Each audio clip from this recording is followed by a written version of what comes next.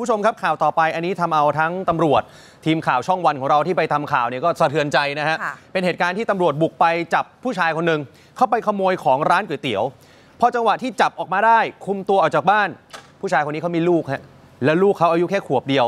ปรากฏเขาร้องไห้ น้ำตานอง ต้องจากลูกไปรับโทษเขาก็เลยหันไปบอกกับลูกบอกว่า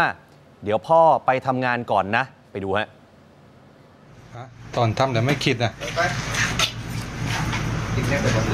ฮัลโหลคนนี้แล้วก็เนี่ยมันขึ้นเอาไว้ก็ได้เนี่ยไฟฟ้าลงมาจับติดไปเนี่ยน้องเอาลูกไว้เนาะตัวเดี๋ยวหลับไปรู้ปากกับปลารู้ไปกันนะไม่ไม่เป็นไรรู้ก็รู้กันนะนะรู้ไปกันพาลูกไปด้วยก็ได้มาถือข้าวเลยมากินนะถือข้าวเลยนะแล้วกับมันแบบแน่นไปเลยบอกไปทำมันนะบอกไปทำมันนะโอ้ยปาดน้ำตาเลยนะกอดลูกไม่ยอมปล่อยเลย จนคุณตำรวจเนี่ยบอกว่าอะเดี๋ยวไปโรงพักก็เอาเอาลูกไปด้วยแล้วกันค่ะนี่ฮะคุณผู้ชมนี่คือนายโอมอายุ 23 ปี กอดลูกสาววัยหนึ่งขวบกำลังน่ารัก แล้วก็ร้องไห้ออกมาอย่างหนัก บอกลูกว่าอย่าดื้อนะ อยู่กับแม่นะ พ่อต้องไปทำงาน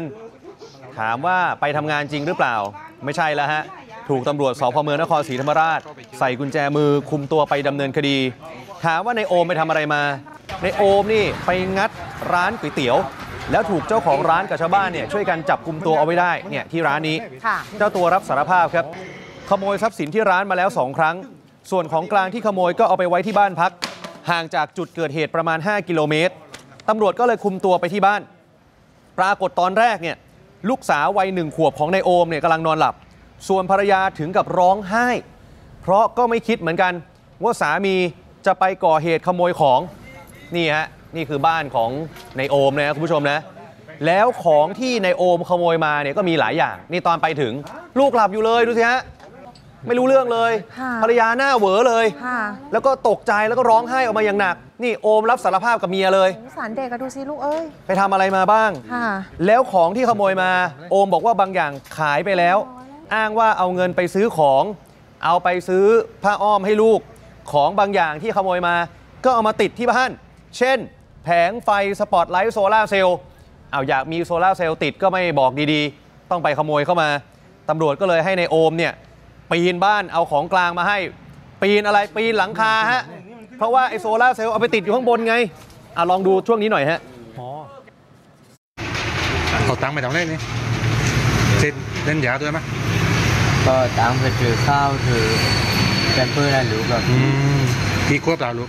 หนุ่มยากันเนี่ยผมยากันแล้วเบิ้งพุ่มบนข้าวเล็กคืนนั่นเดียวกับออกมึงเข้ามาเมื่อคืนคนเดียวครับเดี๋ยวคือรถหนึ่งนิดเดียวนึงกับช่องไงอ๋อตกลงตกลงมียาไหมอ้าวโอมเออเออเพราะจะมีเสียงฟ้องอยู่ตลอดเลยนะนะเล่นยาด้วยเล่นยาด้วยเออเนี่ยเจอยาเราข้ามมาสร้างเนี่ยคนทำนี่ก็ทำมาครั้งที่สองแล้วอ่าคือตอนแรกโอมเนี่ยบอกว่าไม่เกี่ยวยาเสพติดค่ะแค่ขโมยของค่ะแต่ถ้ามันมีหลักฐานเนี่ยโอมก็ต้องโดนด้วยนะฮะค่ะเพราะอะไร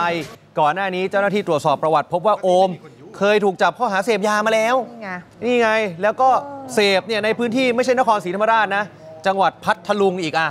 ก็เดี๋ยวว่ากันต่อนะฮะ ตกลงในโอมนี่ ขโมยโดนแน่ๆลักทรัพย์อะไรก็ว่ากันไป แต่จะมีเรื่องยาเสพติดด้วยหรือไม่นะฮะแต่สุดท้ายสงสารลูกกับเมียที่สุด ใช่อืมเนี่ยอะอะดูคลิปจบแล้วอย่าลืมกดไลค์ กดแชร์ กด subscribe นะคะ ที่สำคัญค่ะ อย่าลืมกดกระดิ่ง จะได้ไม่พลาดทุกข่าวสำคัญกับสำนักข่าว One News เชื่อมั่นในข่าวมั่นใจ One News ค่ะ